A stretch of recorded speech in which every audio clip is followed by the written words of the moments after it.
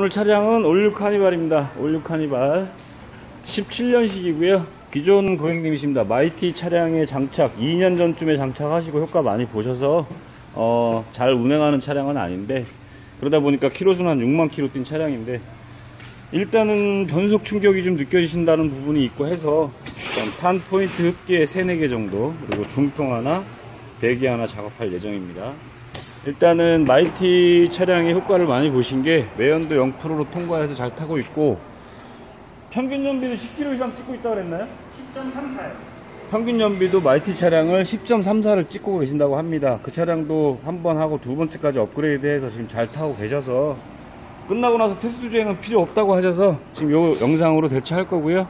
고객님이 나중에 타보시고 전화 한번 주세요. 차 바뀐 거 있으면은 일단은 이 차량은 장착 후에 바로 출고하도록 하겠습니다.